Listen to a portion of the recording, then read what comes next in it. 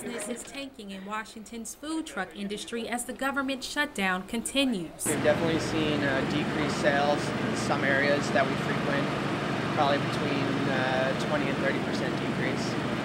According to the Washington Post, food truck sales in the district are down by 50% or more within a week of the shutdown.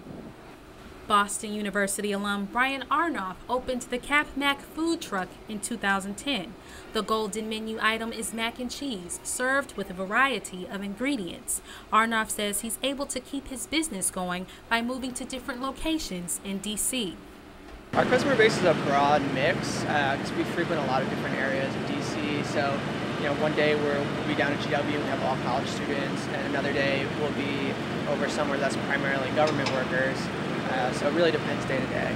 For the moment, Arnoff has a strategy to maintain sales during the shutdown. Right now, we're just avoiding areas that are heavily populated by government workers um, and trying to frequent locations that are more, uh, you know, uh, private businesses, nonprofits, student-based. No matter what the economy may look like in upcoming weeks, CapMac says is determined to remain open. In Washington, this is Brittnee Exum, BU News Service.